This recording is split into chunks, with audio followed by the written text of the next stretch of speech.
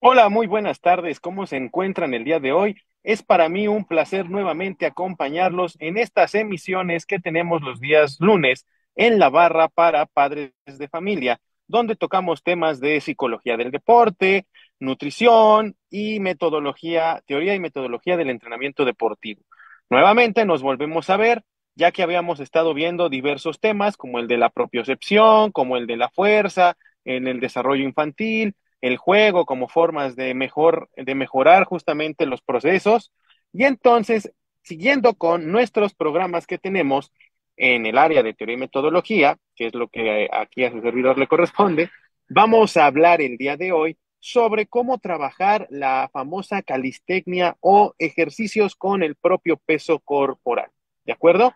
Es muy importante que nosotros entendamos la importancia de aprender a hacer fuerza con nuestro propio cuerpo antes de pasar a hacer un trabajo de musculación a un gimnasio. ¿Por qué? Me van a decir varias personas. Bueno, primera razón. ¿Se acuerdan que vimos las sesiones anteriores que nos vimos la importancia de la propiocepción y su desarrollo? Cómo se desarrollaba con inestabilidades, cómo se desarrollaba con juegos, cómo se trabajaba el equilibrio. Bueno, una vez que la propiocepción se ha empezado a trabajar, se debe trabajar junto con el desarrollo de la fuerza corporal, porque la fuerza corporal también nos va a dar mucho más equilibrio, ¿de acuerdo? Entonces, bajo este tenor y bajo esta línea, una vez que nosotros aprendemos a trabajar con nuestro propio peso corporal eh, para obtener una mejor propiocepción, Ahora tenemos que utilizar esa propiocepción para desarrollar fuerza con nuestro propio peso, para que seamos más conscientes de nuestros músculos básicos y tónicos. Y si recuerdan que lo que he estado mencionando a lo largo de estos programas, cuando llegamos a tocar el rubro de fuerza, es que para que un niño trabaje la fuerza, debe haber tenido ya un buen desarrollo de sus músculos tónicos, un buen control, una buena conciencia. Entonces, lo que vimos las dos sesiones pasadas conmigo sobre el desarrollo de la propiocepción principalmente se desarrolla de los 0 a los 8 o 10 años. Y se acuerdan que cuando hablamos de juego y las edades para desarrollar la fuerza, se habla de que sea a partir de los 8 años, que es cuando más o menos un niño ya tiene el desarrollo neural, nervioso, del control de estos músculos tónicos, ¿de acuerdo? Entonces, bajo esta perspectiva, bajo esta tónica, pues es aquí donde coincide el desarrollo de la fuerza con los niños, donde ya se recomienda que en estas etapas, en estas edades, se comience a trabajar, ¿verdad? Entonces, con esta línea, lo primero que hay que trabajar con los niños es la calistecnia, los ejercicios con el propio peso corporal. Entonces, vamos a hablar el día de hoy un poquito acerca de la calistecnia. Vamos a ver los ejercicios básicos, progresiones, regresiones, y vamos a irlos eh, enmarcando en la utilización dentro de los niños. Aquí ya ahora sí viene un proceso un poco más estricto en el sentido de las formas, pero ojo, para esto que les voy a mostrar significa que ya hubo un proceso desde los cero años del desarrollo de todas las cualidades coordinativas, ¿de acuerdo? Condicionales, y aquí empieza apenas la base, la base del sistema nervioso para el trabajo de la fuerza, y qué mejor que hacerlo con nuestro propio cuerpo. Entonces vamos a ver la presentación del día de hoy. Recuerden que aquí estamos atentos a sus comentarios, a su participación. Vamos a compartir pantalla.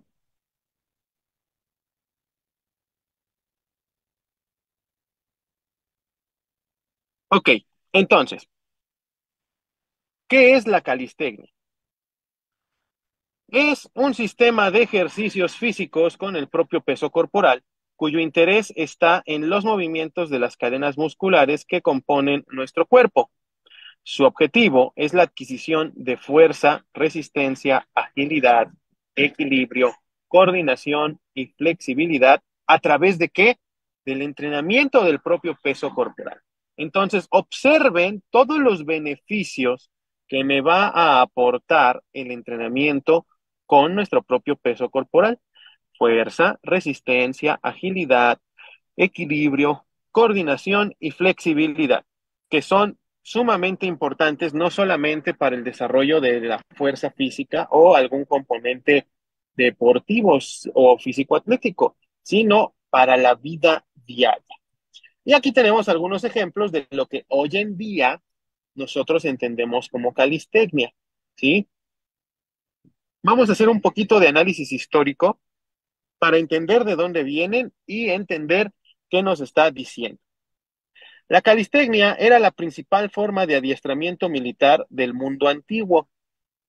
Era fácil de organizar, fácil de aprender y la que mayor transferencia de habilidades mostraba. ¿Cuál es el mundo antiguo? Cuando hablamos del mundo antiguo nos estamos refiriendo a la época de los persas, de los egipcios, de los romanos, de los chinos, de esa época, ¿sí? Donde todos ellos se preparaban justamente para la parte bélica, principalmente. Recordemos que el desarrollo del físico, además de eh, que tiene un objetivo cultural en algunas civilizaciones, como en la griega, que es la que más eh, afín nos, nos suena porque somos occidentales, también tiene un objetivo militar, Un adiestramiento militar, donde estas culturas, pues parte de sus objetivos eran ser culturas bélicas, culturas conquistadoras, y entonces requerían de una sociedad eh, bien adiestrada, bien entrenada, que pudiera responder a las necesidades de lo que se pedía, ¿de acuerdo? Ahora bien, ¿a qué, se, ¿a qué se refiere esta parte donde dice que es la que mayor transferencia de habilidades mostraba? ¿A qué se refiere con transferencia y qué es la transferencia en el entrenamiento eh, deportivo y de calistenia y de cualquier preparación física? Fíjense bien, cuando hablamos de transferencia, lo que nosotros hacemos o entendemos eh, desde la teoría y metodología del deporte es que las implicaciones biomecánicas, las implicaciones fisiológicas, las implicaciones musculoesqueléticas de tal movimiento o ejercicio tienen una, un paralelismo o una aplicación muy eficiente en alguna otra situación de la vida diaria que va a ser positivamente empujada por este entrenamiento. ¿A qué voy? Si yo soy una persona, por ejemplo, es un ejemplo muy burdo, que de repente cargo muchas cosas, o soy un papá o una mamá que debo tener un bebé en una mano, una bolsa eh, del mandado en la otra mano y caminar varios metros, varios cientos de metros, podríamos decir que un ejercicio con transferencia es agarrar una mancuerna con flexión de brazo a 90 grados, con flexión del codo a 90 grados, y sostener la otra mancuerna con el brazo estirado y ambas en trabajo isométrico, caminando 20 metros y luego cambio de mano, caminando de regreso esos 20 metros. Podríamos decir que es un ejercicio con transferencia positiva porque lo que yo estoy trabajando en mi entrenamiento va a beneficiar que yo pueda tener a un bebé en un brazo, a mi hijo, y la bolsa del mandado en el otro sin que tenga una fatiga tan remarcada como si no lo tuviera. ¿De acuerdo? Entonces, la transferencia es algo muy importante dentro de estos procesos. ¿De acuerdo? La transferencia es de suma importancia para que pueda rendir en ese entonces en el campo de batalla, en la actualidad para las diversas actividades de la vida diaria o, si es especializado, en el deporte. Entonces, la calistecnia tenía una gran transferencia. ¿Qué quiere decir? Que muchos de los ejercicios calistécnicos tenían un efecto positivo en todas las actividades que en el campo de batalla y que en la vida diaria de aquellos tiempos de la edad antigua se requerían. Por eso la calistecnia o el ejercicio con peso corporal nunca pasa de moda y es algo que debemos de entender que debe ser como la base de nuestra pirámide para construir fuerza y masa muscular, ¿sí? lo ideal es que desde niño empieces a dominar tu cuerpo y cuando tengas una muy buena cualidad física de la fuerza a través de las autocargas o calistécnicos, puedas migrar a empezar a trabajar con pesos agregados y combinarlos para mantenerte fuerte y saludable. ¿De acuerdo? Entonces, eso es lo que significa transferencia y quería hacer énfasis en ello porque no solamente es hacer ejercicio, sino que tenga una aplicación positiva en nuestra vida diaria. Vamos ahora a seguir con nuestra...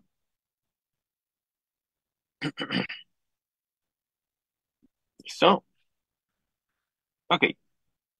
Vamos a seguir con nuestras diapositivas. La gimnasia olímpica, como la conocemos hoy, es quien organizó y sentó las bases de una ejecución más técnica de los movimientos corporales.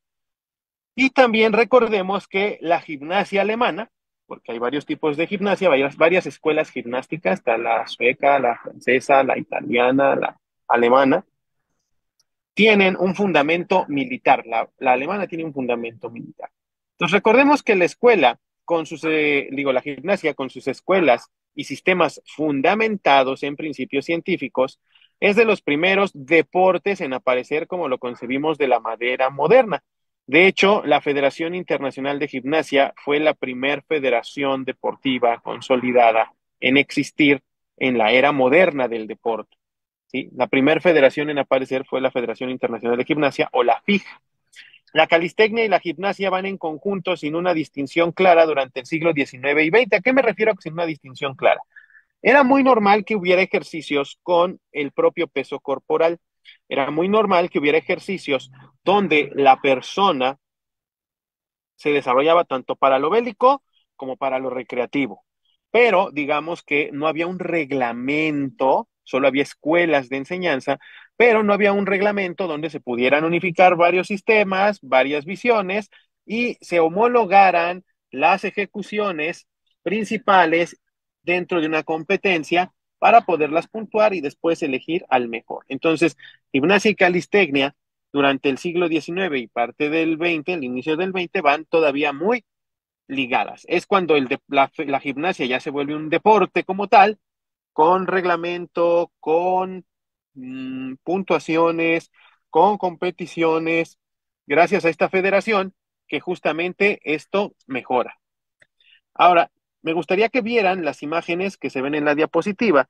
Y si ustedes pueden observar en la imagen de la izquierda de su pantalla, pueden ver que hay estos famosos tubos que han visto muchas veces en el parque o estas, estas escaleras inclinadas donde se hace calistecnia como hoy la conocemos. Y entonces esas litografías son de finales del siglo XIX, inicios del XX. Si ustedes observan, es ya algo normal en ese entonces llevar a la práctica el desarrollo de la fuerza atlética desde esta perspectiva, ¿sí? No es que estemos inventando algo nuevo, no es que sea underground eh, la calistecnia, no. La calistecnia es algo que ha existido dentro de la ejecución deportiva de todas las personas a lo largo de la historia. Y a la derecha, pues tenemos también a uno de los culturistas eh, más famosos, o uno de los más renombrados, que, puede, que es justamente Schwarzenegger haciendo este, pull-ups, o como se le llama en español también, dominadas. ¿Por qué? Porque sigue siendo un ejercicio fundamental el poder manejar tu propio peso corporal. No basta con estar grande y musculoso, sino hay que estar fuerte en todo el sentido estricto de la palabra. Ahora, vamos a hablar un poquito de este tema.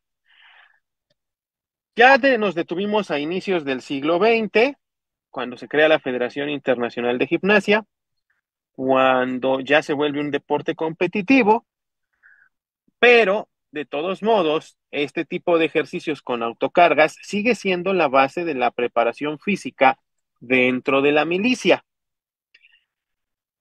Vamos a hablar entonces de la Sierra High School. La Sierra High School fue un colegio eh, justamente en California, en, en el colegio La Sierra en Riverside, en California, que lo que busca es retomar los principios de los griegos y sus entrenamientos. Vamos a hacer un poquito de historia. Los griegos afirmaban que el rendimiento y la estética corporal iban de la mano. Es decir, una muy buena estética significaba un muy buen rendimiento. Y viceversa, un muy buen rendimiento físico-atlético tiene que estar asociado a una muy buena estética. Ojo, como paréntesis a esta afirmación histórica. Eso es lo que los griegos creían, pero hoy en día se entiende que no necesariamente el rendimiento esperado eh, a nivel físico significa la estética adecuada a nivel físico.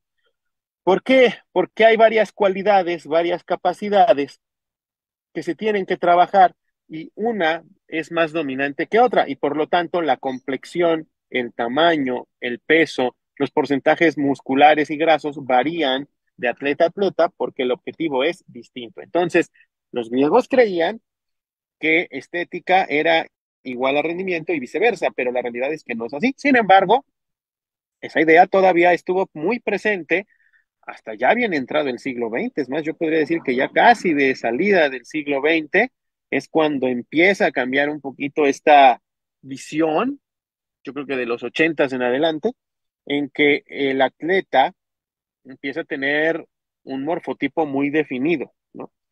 Pero bueno, eso es parte de la historia que estamos mencionando. Lo que pasa en la Sierra High School es que hay un veterano de la Segunda Guerra Mundial que se llama Stanley Proti, quien establece un entrenamiento para chicos y también para chicas, cuyo fundamento era un entrenamiento de peso corporal de 12 minutos y después una carrera con obstáculos enfatizando el movimiento funcional. El programa que creó Stanley Proti fue de tal impacto que el mismo presidente John F. Kennedy lo tomó como base para el Programa Nacional de Educación Física Escolar en Estados Unidos. O sea, imaginen el alcance y el impacto positivo que este programa produjo, que el mismo presidente lo usó como una base para un Programa Nacional de Educación Física. ¿Cuál era el objetivo de este programa? No solo crear jóvenes fuertes y sanos, sino también futuros ciudadanos de carácter firme, fuertes y disciplinados, útiles a la sociedad, así como a la patria. Y curiosamente, este programa se llevó a usar en 4.000 escuelas secundarias, lo cual parece poco, pero no es así. Es bastante la, la, el alcance de este programa. ¿Cuáles eran los primeros ejercicios o los principales ejercicios? Los pull-ups, las flexiones, las sentadillas, los saltos y las carreras. Los niños y jóvenes eran catalogados por colores de pantaloncillos cortos. Los principiantes eran blancos, seguidos de rojos, después azules y por último morados.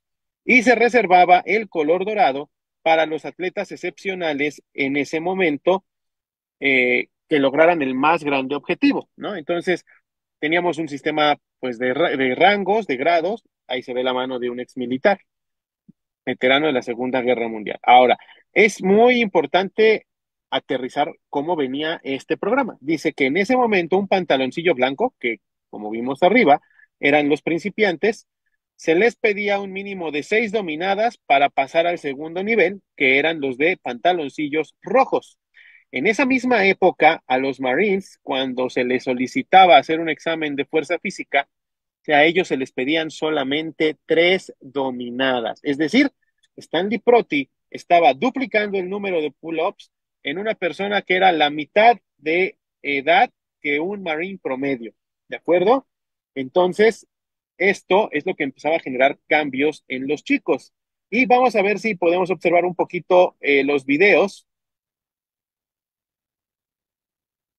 Expedia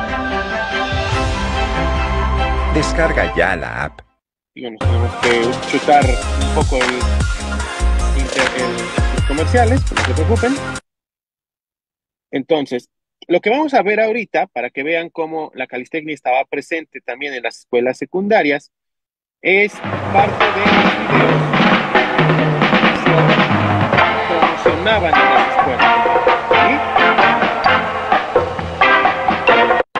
to every boy in school. It was given to begin development. Every class began with a 12-minute uh, conditioning program in which the boys uh, found themselves in a very formalized calisthenic-type program in which every boy was expected to respond the way a varsity athlete would on a team. When the signal was given to begin, they all started at once. There were no laggards. Everyone participated fully. Everyone was important. There was not the usual type of straggling and uh, laziness sometimes associated with other calisthenic-type programs. Well, as the boy progressed through this program and became a white and then a red and then a gold and then a blue and then a purple and a navy blue, he found that uh, also his physical prowess was improving uh, along with this. And that's one school in the country, La Sierra High School, where you don't have to ask if there's a physical fitness program. You simply look at the boys. But getting back to football, Coach uh, Stan Laprati, who originated the program, uh, coordinated uh, agility drills in football with agility drills in conditioning classes. He, uh, he used many of the exercises found in football training programs uh, in the conditioning programs for the boys. They perform some very outstanding and very difficult physical feats, such as the extension push-up, which is, uh, has been reported that only one boy in 30,000 can accomplish. They also turned to vertical type push-ups because the normal style push-up was too easy uh, for the boys to accomplish, and once they got over 100, it took too long to score. Every boy has an opportunity in this program to advance on the team. And that's what they're called. They're not called the physical education squad. They're all called teams. Blue team, red team, gold team. And uh, he can schedule at any time a testing uh, period with his physical education teacher and go down to try to advance from one color to the next. By the way, to be a Navy Blue at La Sierra High School, you have to be able to uh, do a man lift and carry of a boy 10 pounds within your own body weight and carry him five miles without letting his feet touch the ground. You also have to be able to do 150 push-ups. You must be able to make seven complete trips up and down the vertical pegboard. And there's an emotional stability test that must be passed also, which uh, the boys and hands and legs are bound together. And he has to sustain himself in the deep end of the pool for six minutes. Now, some of these uh, accomplishments seem to be quite strenuous and quite difficult as they are, but keep in mind that the boy who walks off the street, the freshman in La Sierra High School, does, is not expected to compete the Navy Blue standards, just as the freshman boy who went to school is not expected to make the first string on the varsity team. Most important part of any summer workout, as far as football is concerned, is running.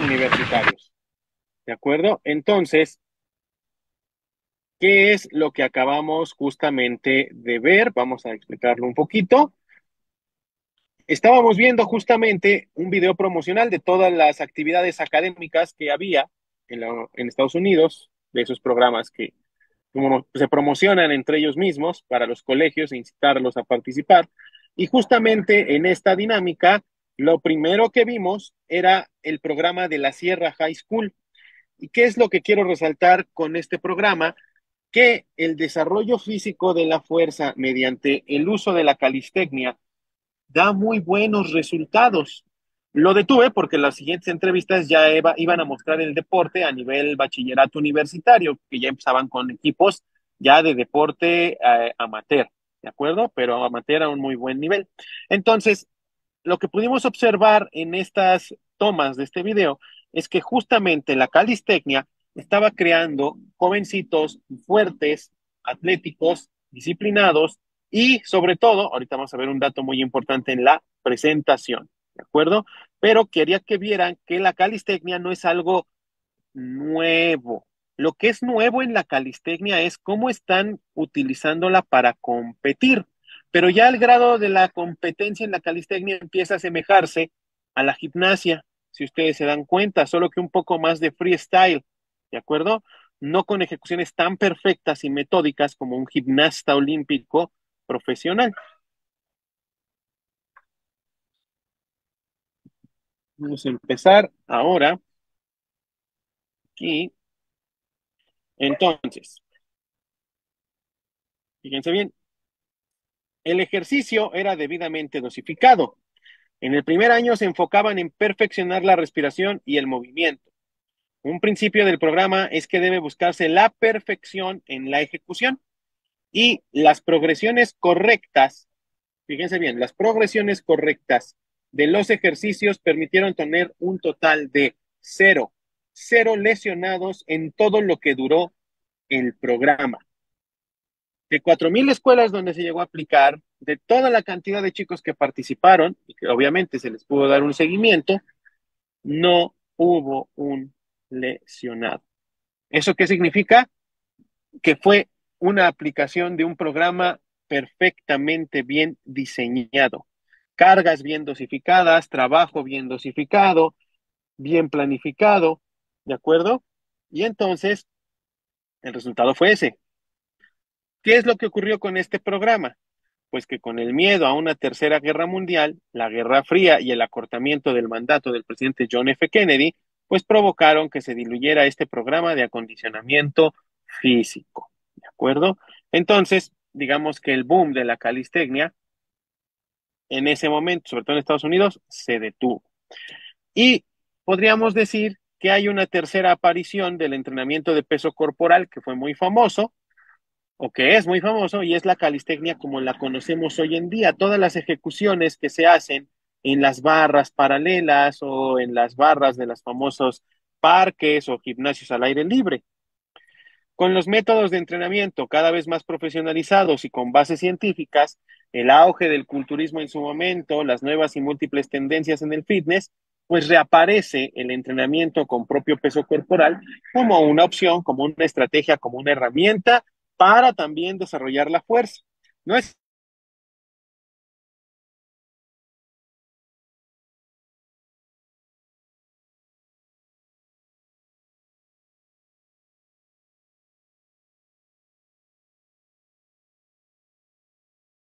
que se haya ido, sino que debemos aterrizar qué es lo que va a ocurrir.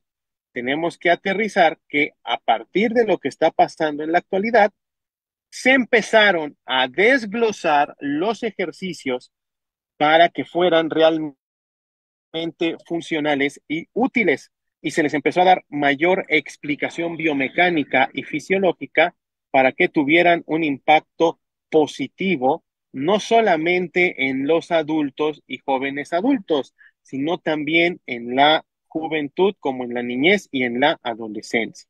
¿De acuerdo? Entonces, eh, con esta tónica, vamos a ver qué más nos dice esta cuestión.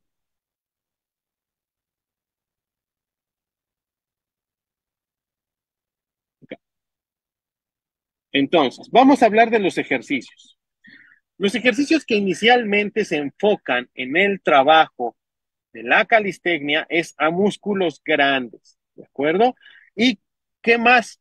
No son de mucho aislamiento. En la calistecnia tú no puedes aislar mucho, lo cual es muy favorecedor en el desarrollo del niño. ¿Por qué? Porque el niño empieza a generar mayor coordinación. Ojo, no significa que va a ser el ejercicio central, sino podemos irlo desglosando en lo que se llaman progresiones y regresiones. ¿Qué es una regresión?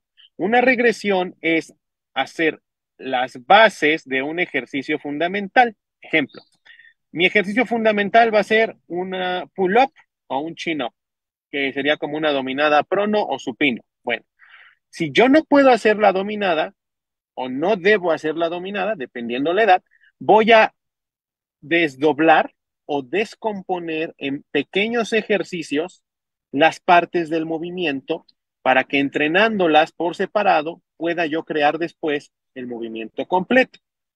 Y esto implica el fortalecimiento de los músculos de manera coordinativa. Por ejemplo, no todos pueden hacer un push-up o lagartija, como comúnmente le decimos, eh, a la primera.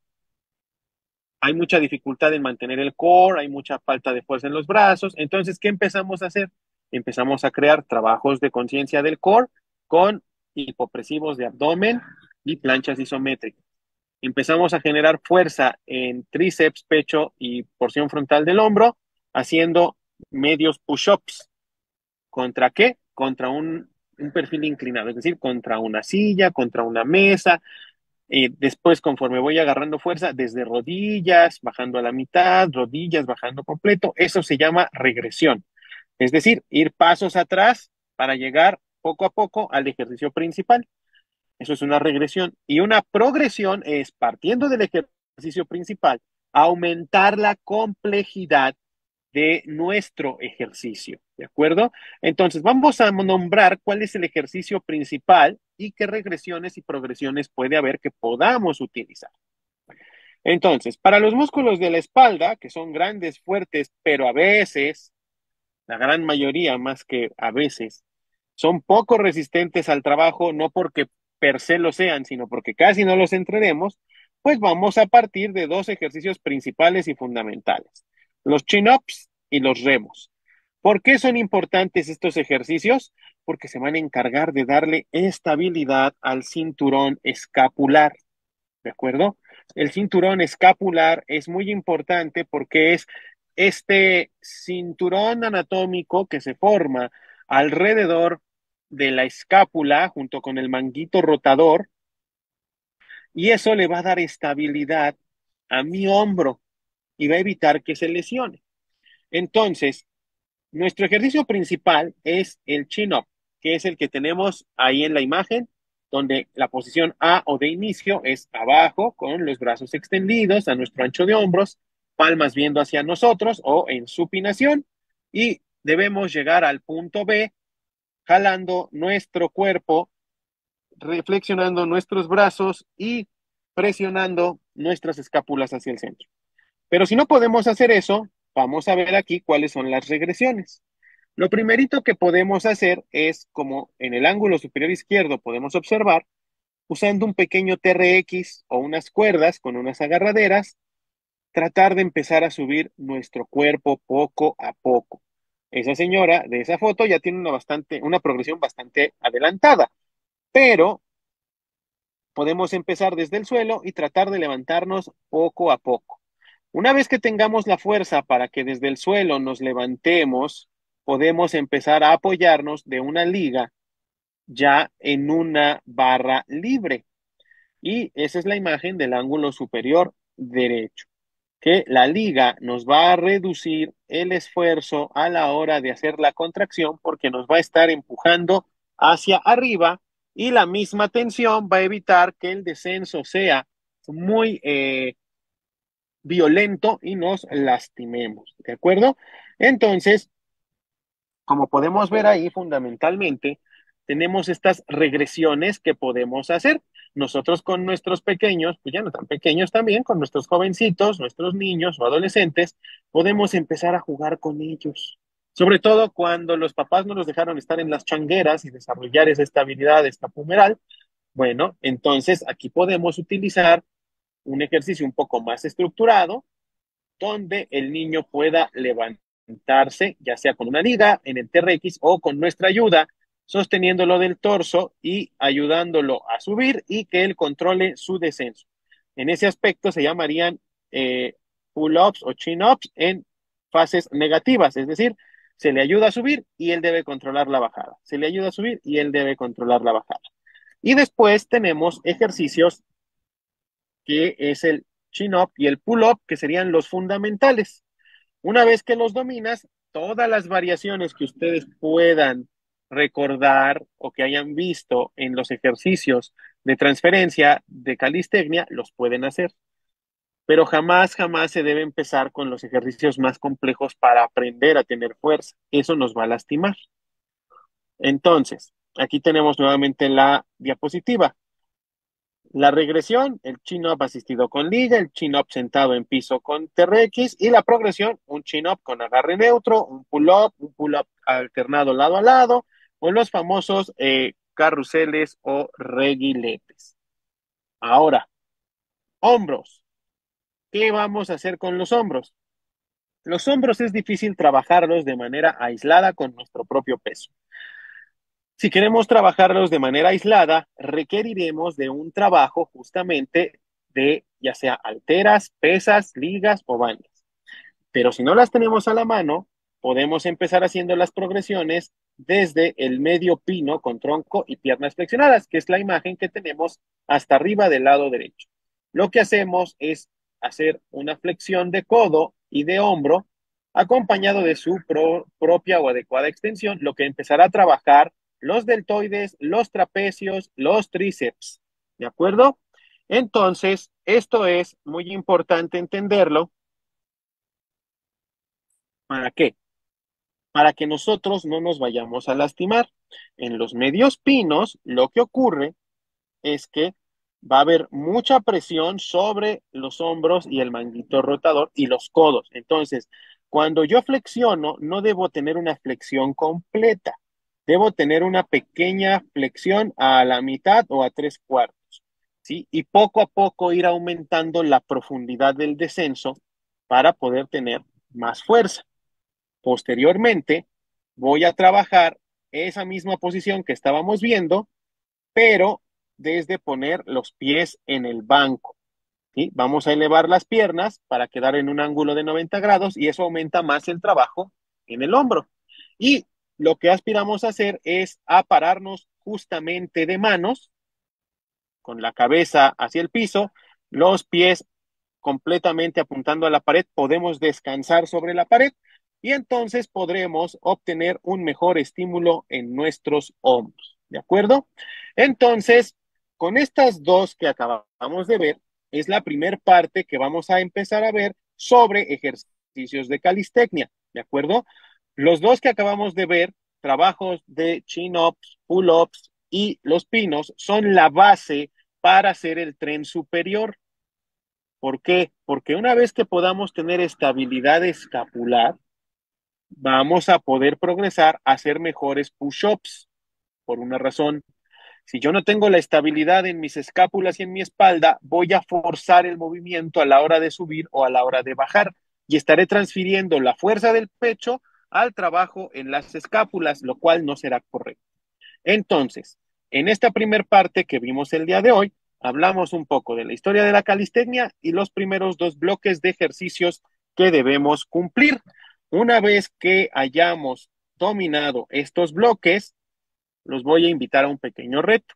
De esto que platicamos un poquito, vamos a tratar de ejecutarlos en nuestra casita, si pueden, si no, y empiecen a percibir su cuerpo, sus brazos, su escápula y dentro de dos semanas, que nos vuelve a tocar vernos, para el 11 de diciembre, nos vemos para dar por concluido el tema de calistecnia, porque la segunda parte vamos a ver lo que falta del tren superior, el tren inferior y las dosificaciones recomendadas. Ahora, también las notas. Si estos ejercicios no se empiezan a trabajar, a progresar desde pequeños, luego de adultos es más difícil. El entrenador debe de ser capaz de poner los ejercicios en dosis adecuadas y en progresiones o regresiones idóneas para que vayan desarrollando cada uno de los chicos esa estabilidad deseable, ya que muchas veces de adulto los malos hábitos, el sedentarismo que generan el sobrepeso, dificultan el aprendizaje motor de estos procesos de autocargas. Y entonces empezamos al revés. Nos vamos a trabajar al gimnasio para hacerlo aislado porque no podemos cargarnos y empezamos a generar mayor número de desequilibrios musculares. Y bueno, esto es lo que vamos a platicar el día de hoy. Para la siguiente clase seguimos con eh, la parte que nos falta, parte 2 de calistecnia. Y lo más importante, si ustedes quieren saber más acerca de estos temas y profundizar más allá de solamente una charla, están nuestros cursos en el Centro de Estudios del Deporte con nuestra oferta académica, además de los diplomados que ofrecemos y conferencias. Acérquense también a nuestra barra programática de nuestras actividades físicas que se dan en Facebook Live todos los días, ya que todos nuestros entrenadores, ponentes y docentes son de un altísimo nivel y nos ayudan justamente a progresar en todo este conocimiento que son las ciencias del deporte, el ejercicio y la salud. Yo soy Emanuel Novas y les agradezco habernos acompañado el día de hoy. Nos vemos hasta la próxima.